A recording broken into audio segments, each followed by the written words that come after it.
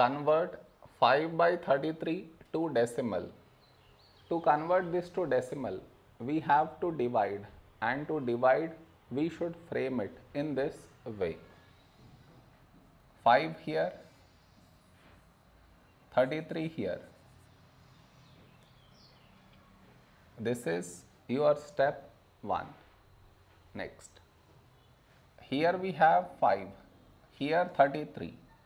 5 is smaller than 33. So what we do is we should put dot and take 0 here. So 50. A number close to 50 in 33 table is 33 ones 33. Now we subtract. We get 17. Here we have 17, here 33. 17 is smaller than 33 and we already have the decimal.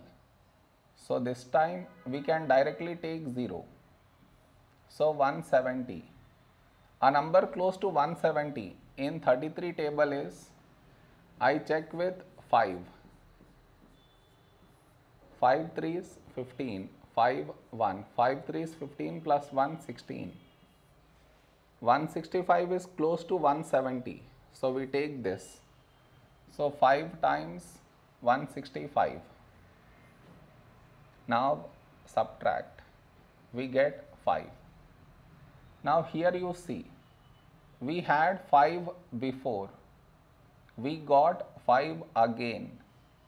That means we get bar on these two numbers.